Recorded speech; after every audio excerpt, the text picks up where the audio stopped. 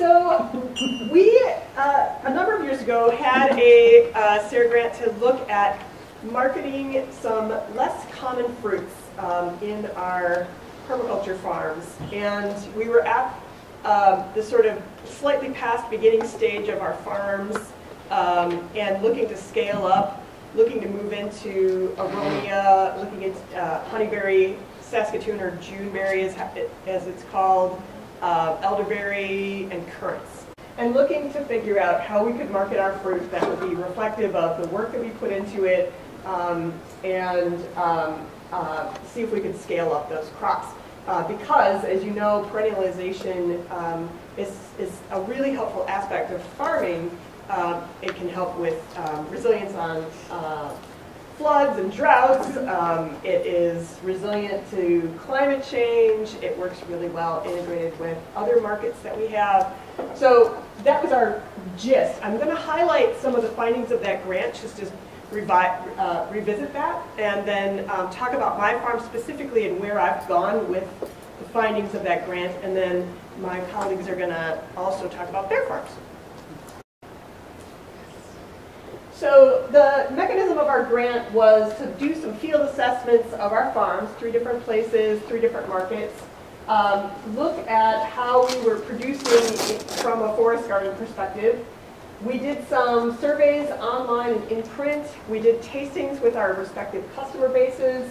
We did some field days, and we also did some secondary market research, just looking at the price point for fruit um, at that time. And that was, again, 2013 we started think. um, and uh, then we also worked on uh, a calculator uh, and a decision-making tool um, coming out of the grant in terms of uh, getting started or wanting to invest in these fruits. How much was it going to take to get these fruits started? How long till return on investment? Uh, what was the labor involved? Um, we've poured all of that data into um, the University of Wisconsin's project now, which is a fruit and nut compass decision-making tool. Uh, if you're not familiar with the Compass series from the UW, it's a decision-making tool. They have one for vegetables, um, and they've been working on a fruit and nut one as well. Um, that's proving to be a little bit more complicated, so they're still working on it. Uh, but um, some initial information about that is in the grant report, and then we have um, spreadsheets we can share with you, um, and probably updates to those numbers um, in our presentation. We really emphasize combining learning with celebration. So uh, Erin had a currant events uh, celebration on her farm, which she repeated for a couple of years. I thought that was a fabulous idea and borrowed it and did this a similar thing. Um, and that proved a great way to have people connect with the farm and what I was doing um, on a perennial basis. We looked at eater habits, um, and for the three of us, our eaters were mostly buying from co-ops and farmers markets, um, as opposed to um, in an online store or, um, I guess not, not down in supermarkets.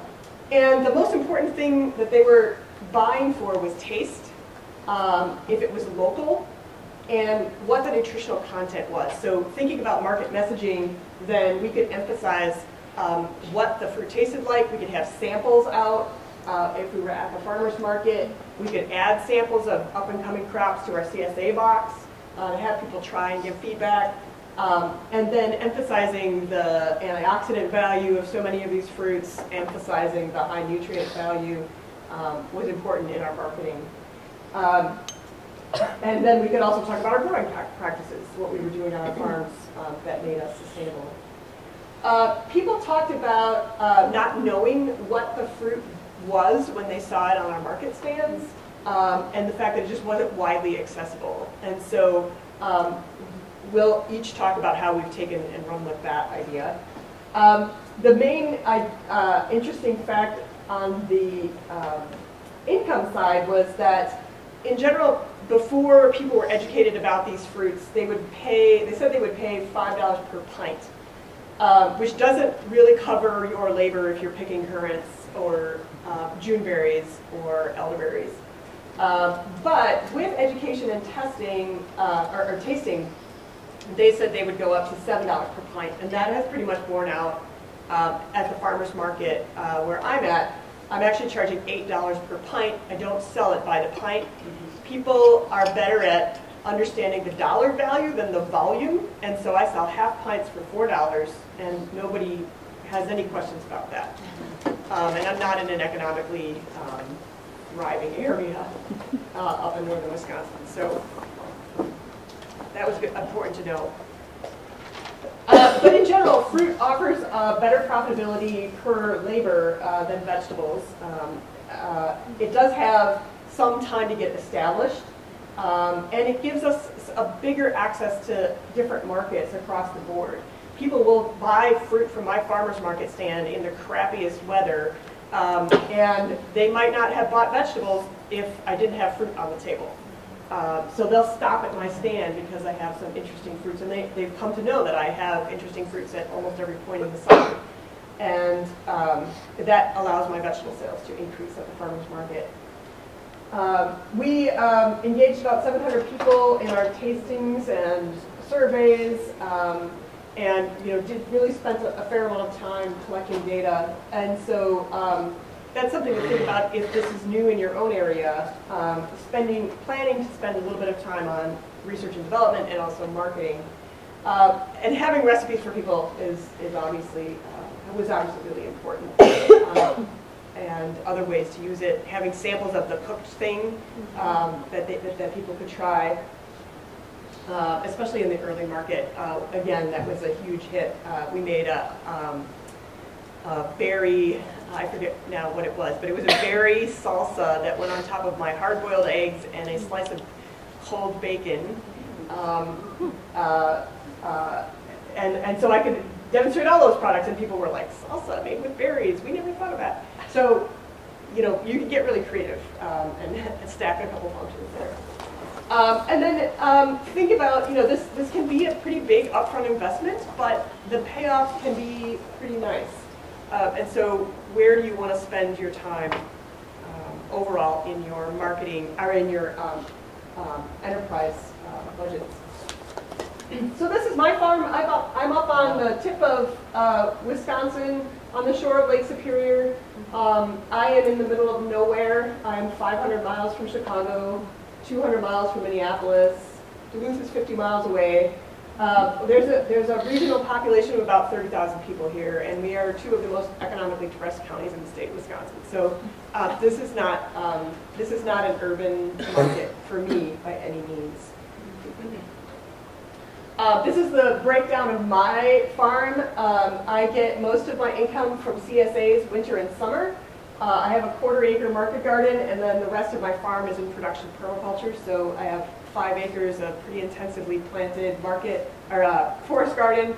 Um, and you can see I highlighted my farmer's markets number there. That's really low and not really worth my time. Uh, but it is a huge way to market my CSAs.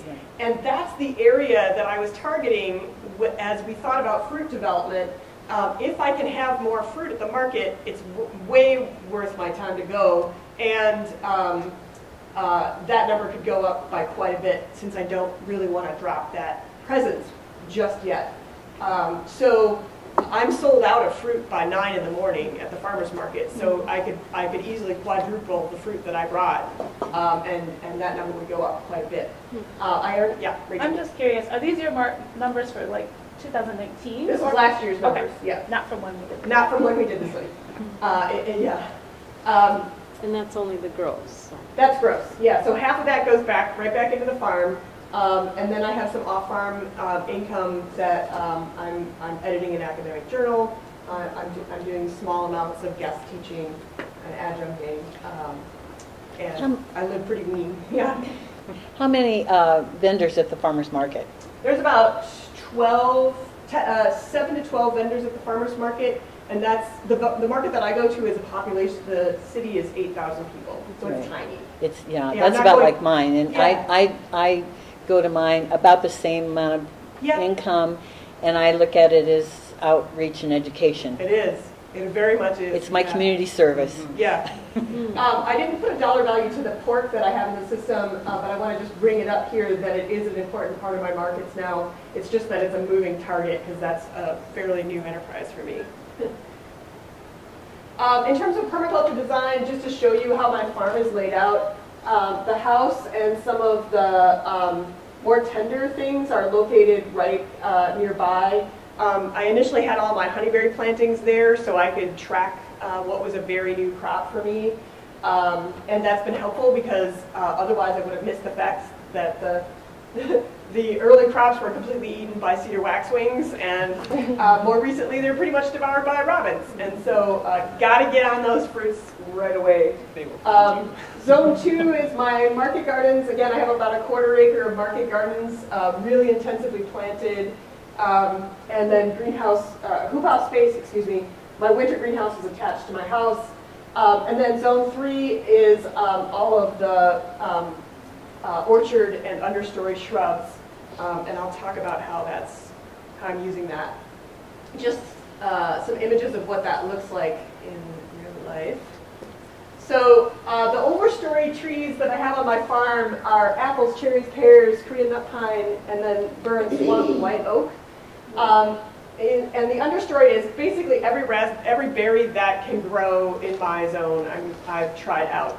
So one of the outcomes of this grant for me was I can replicate this same project with, that we had with, with currants and elderberries and juneberries and such um, with some of the other lesser known fruits like aronia um, and cornelian cherry and highbush cranberry um, and do that same sort of education with people and recipe testing um, and then have a, a, a even further diversity of fruit on my farm. And because I mostly market through CSAs and farmers markets, those are perfect markets to have a smaller quantity of a really diverse um, set of products from a, from a very diverse landscape. Um, and then in the understory now, I've also got herbs, um, which I sell whole, uh, to, wholesale to, since I'm dropping off at restaurants and coffee shops all my CSA boxes, why not bring them $10 of mint every week too? Um, which um, you know can at least pay for my gas adding up um, over the season. Um, so that's how I've scaled up from the pilot project that we had uh, from the SARE grant. Uh, I wanted to show how this breaks down in terms of harvest times and thus cash flow. Um, so our grant was currants, elderberries, honeyberries, and Saskatoon, or otherwise known as juneberries.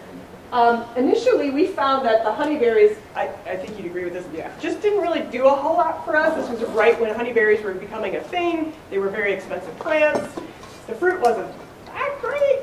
Um, and for us, they really weren't producing very much in the time span of the grant. Um, since then, um, the plants have kicked in uh, on my farm, and, and so it took uh, like five to seven years for the wow. for it to really get going. I heard, I heard you talking smack, right? Yeah, yeah. yeah. I was gonna rip them out. Like you I mean, going. This happened with my apples too. I was talking smack, and they, they all suddenly produced. Um, but uh, it, honeyberries turned out to be a really important crop at an early season when I didn't otherwise have a lot of fruit. Um, and they, they, because I'm in a super cold area, they precede all of the spotted winged Drosophila, insect problem that can show up later with soft fruits. My philosophy on my farm is it has to sort itself out ecologically. Other, and, and, and, and so um, I have uh, planted in small uh, patches. Uh, for example, raspberries. My raspberry rows are 30 feet long, and I have them spread out all over the farm. Um, and there'll be some pictures later of, of some places where I have them. So I'm using them in, for different purposes as well as just being a row of raspberries. Um, and so uh, if spotted wing, winged Drosophila really takes out my Bristol blacks, uh, it doesn't seem to migrate over then to my um, uh, uh, uh encore uh, or my later berries. Um, it, there's so many birds, songbirds on my farm. I think they actually do make an impact. I haven't tested that. Um, but um, I have such a diverse landscape. You know, I don't have a half acre of raspberries or half acre of strawberries. Or, um, and so I think that's really helping. And I think it's also helping uh, because they're um, temperature dependent, the, the Drosophila is temperature dependent. I live in a frost pocket mm -hmm. um, and Lake Superior is to the northwest and um, I've got a ridge to the southeast of me. So I'm getting all the western wind off of Lake Superior and so my um, apple trees are not even blooming until the middle of June. Wow. And so it pushes back the timeline on the Drosophila.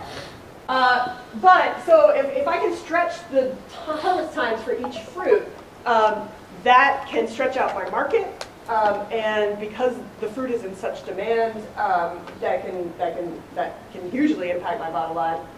I'm looking at varietal differences. Um, so after the grant that we had to, to say that, yeah, the markets would bear some expansion, now I can go back in and trial a whole bunch more varieties of different kinds of fruits and stretch out the harvest time. So my raspberries start in um, mid-July and run through um, the end of August, uh, if not September. Um, and my strawberry season now is expanded uh, because I have a winter greenhouse. And so after the plants are out of there, I can have strawberries in there um, and I get them a month earlier than they would be outside. And they have no pests either. Um, so uh, the other thing that has happened for me since the SARE grant was uh, really incorporating more animals in my system. Um, and uh, for me, that means um, American guinea hogs. Uh, this is a small breed of pig. Um, they do not bother shrubs or trees. And so they have completely changed my ability to have a diverse um, forest garden uh, because uh, I can plant all of these things together they're out there until June 15th uh, mowing everything. Um, my uh, need to mow then in the orchard goes way down, uh, which means I can harbor all kinds of ground nesting birds. Um, the fertility is, is uh, matched to the uh, trees and shrubs needs. Uh, I get bacon. Um, they're a blast. Um, and so that's really allowed me to look at even more plantings because I don't have to be concerned with how am I going to weed those raspberries um, uh, in a tough clay, loam, sodded soil? I don't, I don't worry about that anymore because between the pigs and the chickens, they, they take care of it. Are your pigs seasonal or do you keep them year round? I keep them year round. I have a, a breeding herd because it's an endangered breed. Um, and so they move um, around in, in the or they're in the orchards in the winter up until June 15th. Uh, they usually, for the pear overstory orchard, they're, they're in there in October. For the apple overstory orchard, they go in in November after I'm picking out the last apples. And then they're in there until June 15th. So they're outside, They're, out- oh yeah, they're outside the whole time. no cover. Uh, they have, um, I have covered, I let's see if I have a picture, no. Um, I have um, truck toppers, so they're short animals, so they fit in truck toppers with up on cinder blocks, um, but they don't want to be in there, uh, as it turns out, um, and they use that as a glorified latrine. Um, and so they would prefer to bear, burrow into round bales um, in the wintertime, so I provide them round bales, um, but they, they want to be outside. Yeah.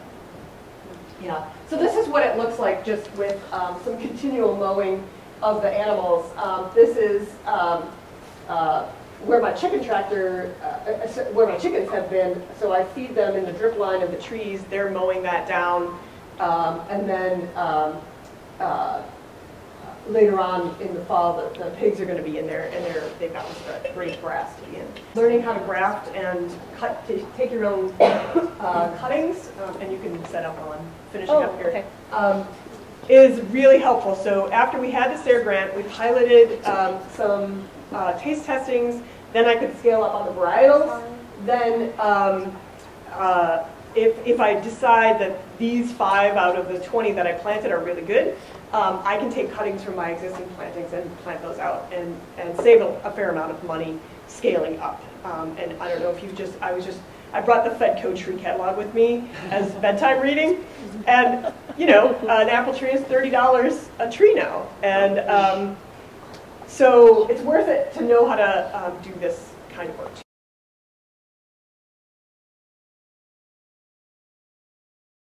A little more willing than Claire is to like fight uh, pests and diseases to make something work, but not totally willing. So finding disease resistance um, is a really is a is a big priority for us too. Um, yeah, and I guess I didn't talk too much about it. We do still grow elderberries, aronia, and June Saskatoon service berries. Um, I they're not a big part of our of our marketing, um, although you know every year I kind of like do some experimenting with them and haven't haven't hit on something that makes them um, makes them a, a big money for us yet. So so waiting for that. And yeah, I also put in, none of these pictures are ours, uh, but they're animals in the orchard, they're a great idea. I'll talk more about it. This is a little bit about how to, how we learn to do what we do, a lot of which is the, the big thing for us was really planting in phases. So starting slowly, learning as we went, and then figuring out what worked well for us. I'm Erin again. Um, I co-own Hilltop Community Farm, and probably about midway between La Crosse and Madison. We're in the right on the eastern edge of the driftless region. Um, that's area that hasn't been, you know, kind of defined by like hills, old soils, and rivers, um, like missed the last glaciation. Um, so we also have a lot of terrain we're dealing with. When I say we, my my um, my husband um, Rob McClure is the other co-owner. He's been doing a vegetable CSA since 1993, and we're really pretty small scale. We feed six families and ourselves through the Veggie CSA. And when I came on the Mary Band in about 2007, 08, um, we were sort of making, had to make, you know, it was a good decision point. Like, we're, here's another person, what can the land support, what do we have time and energy for? We also, like similar to Rachel, we work off farm and live in Madison. Um, the farm is in like La Valle. We're kind of splitting our time between urban and rural. So we also, that's kind of in our market space too. All right, so this was also brought up a lot on the production side, but what, um, so our farm, we, you know, fruit's about, we grow fruit on just under an acre. Um, it's always been part of our existing vegetable CSA. We've grown raspberries, apples, hardy kiwi, and we were, um, like with Claire Rachel with this grant, we were like, well, okay, so we know fruit's a great niche for us. So how do we grow more of it, and what do you, how do we help? What's the best fit for for um, different berries and to expand that? Um, but I bring it back to this because this, you know, for us, like October, okay, we're we're ready to put our feet up against the wall, and but we, I think in all cases we like to start and end each season and with like land gratitude, right? Or just like that, starting with the soil and soil being, you know, a reflection of of our, you know, what we eat and kind of how energy is moving through the system, right, in our own bodies as well. So I think it's a good time. I was like, oh, you know, go back and just be like, thank you, fruit trees. I say that because for fruit especially, you know, Claire brought up food forest. Um, you know, you're sort of thinking like, okay, you're, you're holding in the soil like year round, etc. I'm kind of um, rambling right now, but let me bring it back to thinking like a food forest. And, um, with fruit, you're in it for the long haul, whether it's berries or trees. But at the same time, there's like a lot of like immediate disruption, which is kind of a weird paradox. Um, but just like we're all designing our farms in some way with diversity in mind, occupying different different niches in the can, you know, in the field side, but also with our markets. And I bring that up because it's kind of this complementary function and creating networks of mutual support. So you can think, so for us, we've like, oh, well, this can translate into marketing, right? So we know what we want. We wanted high yielding, grower friendly, exceptionally nutritious. We were curious, we're curious people. So how much time and energy do we have? We're not there 100% of the time. Animals don't necessarily work, except um, wildlife. woodchucks, yes. Um, had to bring in the woodchucks. um, so you know we, we're we're on sloping lands. We're not very mechanized. We're really we're doing a lot of things by hand. So those are all things like kind of went into our decision about what to, what to do with fruit. Um, and we were going to experiment from there and ask people what is it about being around fruit for us? So from a market standpoint, um, we're, out, you know, we're marketing direct. We had an existing CSA. We wanted to add, expand the palette of possibilities with fruit. So it's, I, am like, it's fun to hear where you all are at now a little bit because we were like, so for a long time ago. it was a long time ago, but it, what, a, what an invaluable thing to be like to come back and share like, um, here's what we thought and here's what's happening, what's and like you know, and that's part of the the SARE thing. Like they really support like you know like some risk shared risk taking, and then we can also share that information, and it just kind of multiplies out from there. So we, you know, we're like, well, we, we know CSA. That's what we do. Like, what if we had a fruit CSA? Like, wow. And I'm like, so glad you're making it work because we could not make the fruit CSA work. But that's okay. We, we sort of came up with a hybrid. We started out with like playing with fruit puns. They're endless. We had, we started our own um, currency system. We're like, okay, money is a tool, right? Like you can have your own local currency, right? So why not have a fruit currency on our farm? And that was, so we did. Um, we gave people fruit bucks who wanted to come in and they spent them throughout the season. And, and then we learned like what people's preferences are and then also for us like, well, this is a lot of work. We're not like ready to manage all that. So we weren't really set up for that. but it was good to learn along the way. And because, I, you know, again, I think what came out of that is the expectations of your customers too, and they're like, you know, wanting, they see volume, they don't necessarily um, translate the volume to the value in terms of, of like, you know, your time and effort when you're pricing. So that was a, um, so what we kind of came up with was a, was a hybrid plan there. We had two fruit market shares, and you know, you, along the way you find who your currant lovers are and like who's like, oh, okay, sorry. It's hard not to. currant, right? You yes, maybe you find other currant lovers. So. Um, so we started from there, like, but then we also like we had we've had good luck with restaurants. Um, I think. Uh, and especially in the Madison area for us, like a lot of people have gotten really sophisticated with the bar menu, and these berries work really well for the mixology piece. Because we're pretty small scale, we're not giving huge volumes, and they're willing to like work with that. Um, and so it's been, you know, I think how we sort of navigated, we just lost one of our favorite um, chefs because she's moving to Portland. but with that, what we try to do is like just like come up with a meeting with the staff or the restaurant like on the front end of the year and be like, here's what we're hoping for, what, what worked, what didn't, what can we do more of or not. So that's sort of how we navigated that a little bit. But that's berries render themselves really well to mixology and also the flowers. Um, what would I say about observation? But you, know, you should be able to discover, so you can grow it, now what, right? Um, let's see. What we've also discovered, I have a slide about emergence into where we started and where we are now and what's kind of come out of that. So um, having a market for seconds has been instrumental or just knowing what we want to do with that. We also don't really like, um, we, we market under, we'll do some like jam making, yes, or just like thinking in mind that you're going to have seconds and you're going to need an outlet for that or like some kind of processing. Or even if you don't have seconds, like one, this is, okay, minor tangent. But aronia berry, how many of you are familiar with aronia? Oh, yeah. I see some labs. it's an amazing fruit. Like, look Oh, at this color. It's intense. It's pretty. Putting aronia in a CSA box is a really great way to find out if your members read their newsletter. yeah. a- oh. So I remember being at a specialty fruit marketing, or like, um, like in Illinois, the, co- the conference there, and then there was Yeah. Tara Breckman, I think, it- who was a, She has a farm, and she was doing like two acres of aronia, Oh. and she was, I know, and you're like, yeah, whoa. But one thing she, but her plan though was to do mostly seconds to juices, and there's a definite interest there. But what even at two acres, she had a hard time finding the custom people to do juicing, etc. But I opt for even for us, like I'm like, oh, that'll never be us. We have only 60 plants. This year was a purple haze of aronia, and we went back to the chefs who usually buy things from us, and they're like, we still have the stuff sitting in vodka from last year. We can't get the, we gotta, it's gotta age. So, Yeah. so we did have a glut, but what's come along the way, um, for those of you, you know, the stacking functions piece, I'm also a flower farmer. Like actually, that's where I get most of my cash income Yeah. from the farm. Yeah. Um, that that's really, but That's aronia is a beautiful. Like if you're thinking of woody perennials and to differentiate yourself, so you're out there pruning anyway, right? Or you're roasting the buds.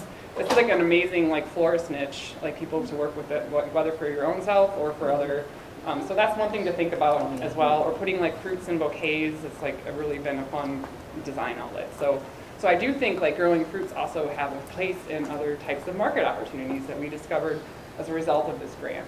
And it goes back to the value of beauty and stacking functions and finding something that really works for you and your time and energy. Um, So does the aronia make wine? Because that would be one gorgeous glass yeah, of there are wine. some people doing that, and um, I, that's a great, you know, It's really high in tannin. yeah. Um, Is that good or bad? mhm. Good. I mean, it's, you know, wine is good with tannin too. We add it to hard cider. Um, so that's something that if you're willing, I'm not a winemaker, and I'm not. We don't. Rob and I both realized on this grant as well. It was like we don't want to spend most of our time doing value added, like you know, and also like Rachel, and we're not. We want to be outside, but we along the way we have discovered, you know, connected with like mostly um, chefs, but then a few of our customers who like to make like do their own home canning or ba- batches. But but sometimes maybe there is like a relationship you could that's out there that if you wanted to scale it up or be like a boutique winemaking piece that people are, you know, I think that's a good niche to exploit if you want, if it works for you. Um, what else about emergence? Um, oh, one thing in the currant realm, clove currants were a new discovery as well. We're like, we're like just because we wanted to keep harvesting currants. so clove currants come up a little bit later in um, Ribes odoratum is a, is a species name. They'll kind of come right after your black currants. So if you're thinking of sequencing as well, and they don't have that kind of meaty, nutty aftertaste that black currants do, um, but they're very similar in, in like habit. Um, um, other things that have also come up and that was not planned again is is maybe you're into like one beautiful thing about fruit, right? It's like you like its willingness to like divide and transplant transplant, mm. and the amazing thing you can do to part propagating.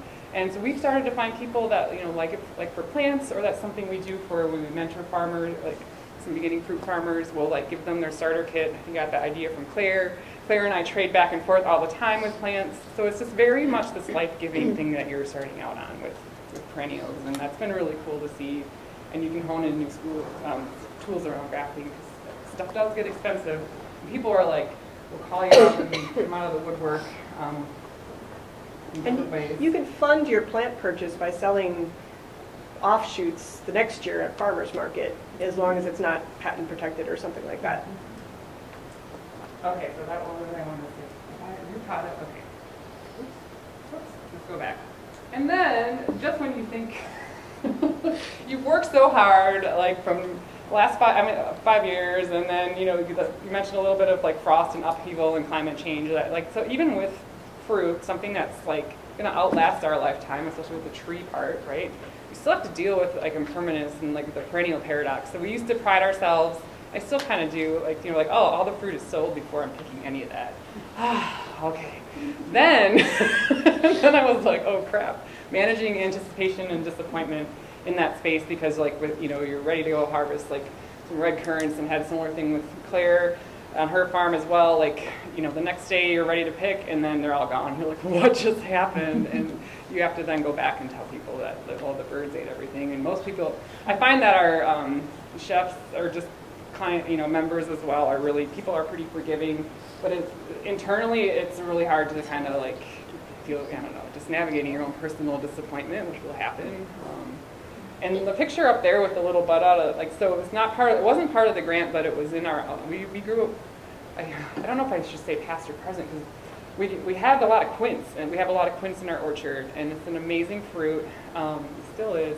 But this last winter we lost all of them except for two. We thought they were all dead and I cried and I'm like no because we worked so hard to build your market and then we were getting people just you know you know there's a lot of good storytelling and like some of these fruits the connections they have to like you know, home and what home was and immigrant stories, and then you just really get that good connection with your clients. And they're people from like New Jersey to Wyoming were like, "You have clients?" Like, wow, you're like, "Yeah, we should." But, you know, when they were like 300 pounds a tree, oh my gosh, you know. And then I'm like, "All right, wait five years," or you know, or just that heartache that can come with that navigating the impermanence of it all. So I don't. I bring this slide up for a reason. Um, maybe it's just a you.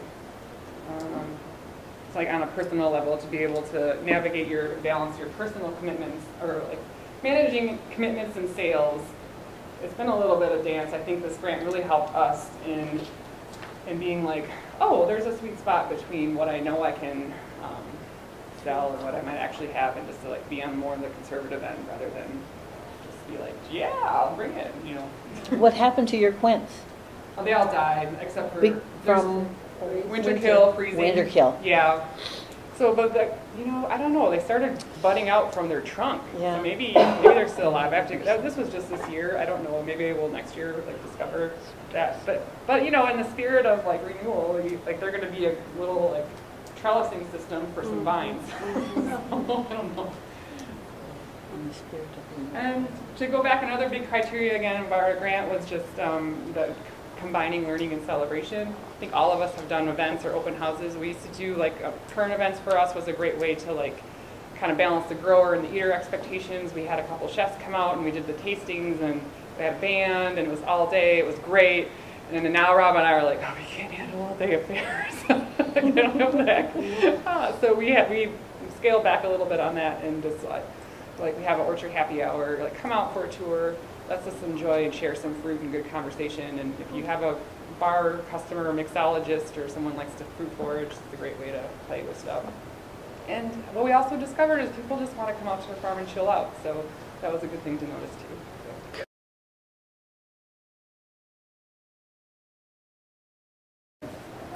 Yes, Denise. Not many people talk about pears. Oh, you go. I can talk about I pears. can too. So you All right, you go first. Okay. We all grow pears. We all grow pears. It's not part of the grant. You grow pears for your heirs. Not through the grant, okay. Yeah, so um, we do have some pears. Uh, that was part of, you know, uh, we've always had them on the farm. We put them in our CSA and to restaurants mostly. Um, they work pretty well for, our- for our farm. Um, we mostly Clapp's favorite, some Bierschmidts. Ayers is really beautiful. Um, kind of find very little disease pressure on our end.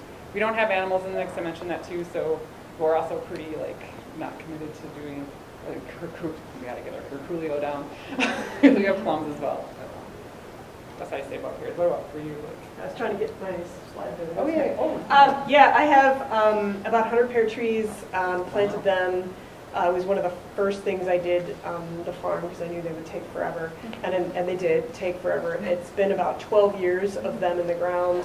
I had my first commercial crop this year. Wow. So, you know, we had, yeah. So we had, we had a couple, um, you know, over the last couple years, uh, a couple trees fruiting. Um, a couple things to know about them. So, um, they, uh, pollinators don't like them as much as apples. And so um, they're harder to pollinate. Um, And what I've come to is, um, as I have space in the pear uh, orchard, I'm going to be adding in um, um, crab apples because my best pear pollination is actually on the edge of the apple orchard. Yeah. Uh, They're, they're not, they're not mixing the pollen, but the bees are present. Um, And so um, that's important. Pears are also tricky because you need to get the right pollinator for the right pollen, uh, other tree. Um, And, and um, there's some, it's not so straightforward there, but there's lots of good resources with the Tree Fruit Growers Network. And Rachel right here, maybe? Yeah, maybe. I don't know. As Um, the yeah. person? Oh. I have um, varieties, I, I was looking for varieties that would ripen after my um, cherries and before my apples.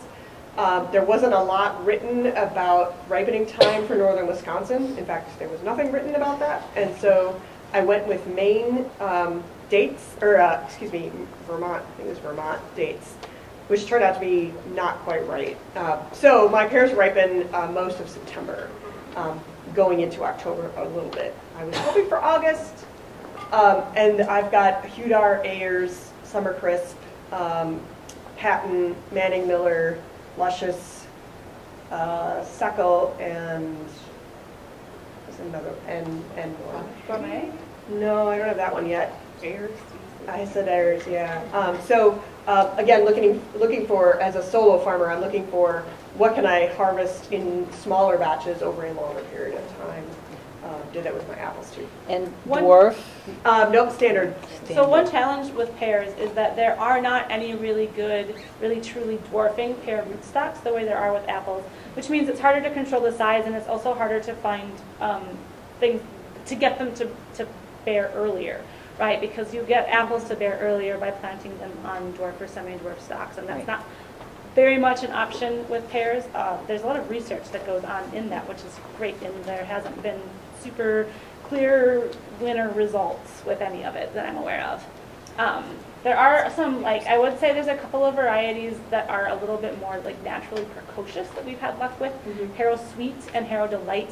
And Harrow Delight's another one you should try because it's Mhm. an earlier season, Oh, much cool. earlier season. That's one of our first ones, maybe after Summer Crisp that we Is picked. Harold? What? Harrow. Harrow. So H A R R O W, and I think there's others in the Harrow series, but Sweet and Delight are the two that we have.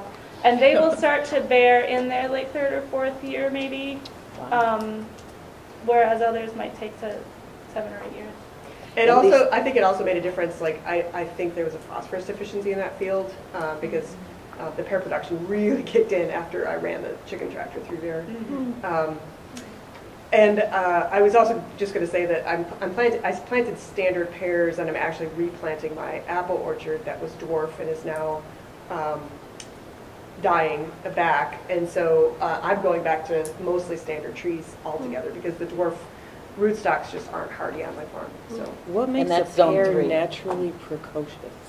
It's just Yeah. that, What does that mean? I mean, Well, and- and besides sometimes- being a sometimes great it's set of plant to words. plant even, yeah. yeah, well, so precocious just means that it will start bearing fruit maybe earlier in its lifetime than average, right? So if, an av- if on average your pear is going to start bearing in seven years, a a naturally precocious one would be one that just will hopefully start bearing earlier in its Oh. lifetime. So like I said, with those Harrow ones, we've been, we started to get, you know, I want to say three, four, five years to like get a little bit of fruit. So can you compared to- graft that plant to try and get that behavior Yeah. from it, or? Yep. Well, It's it's just just, kinda random. that those varieties happen to have this characteristic, which is that Oh, they okay. start bearing a little earlier. Uh, You find that with apples too, like, or with any, probably with any kind of fruit, right? Like some varieties might just tend that way, but I, we've really found that with those specific varieties of pears, that they will start bearing a little bit earlier than other varieties. It's another argument for the pilot and then scale up too, because I noticed that with my apples, and the apples that I'm now grafting onto the new rootstock are the precocious ones, just with, even within the I just variety. love that somebody came up with that word for it. Yeah. Precocious tree. It's like a precocious kid, that Yeah. starts talking earlier or whatever. You first and then you. I have a question about recommendations for short season um, fruits and berries. I'm actually out from Colorado, Okay. and we have sometimes no more than a 90-day Yep. frost-free season. Yep, yep. Um, and so, anything I should cross off the list from your slide, Claire, or No, I'm- star? I'm, I'm, uh, mine could be, not- so our last um, frost-free date in the spring is June 15th, and we will get, uh, we can get frost by September 15th. Same. So, yeah, and you'll have the advantage, I think, of maybe being a little drier, so Yeah. that would Very. Well, currants are already in your area too. so Okay. don't. Cool. Yeah, so uh, we can So talk there after, but that whole list okay. is good for you too, I think. And, and there, I would also check out, um, I haven't done these, worked on with these yet, but the University of um, Saskatchewan has been doing a lot of work on bush cherries, um, which are hardy in a very cold, dry place. Um, So I'm curious about those. I haven't. Great.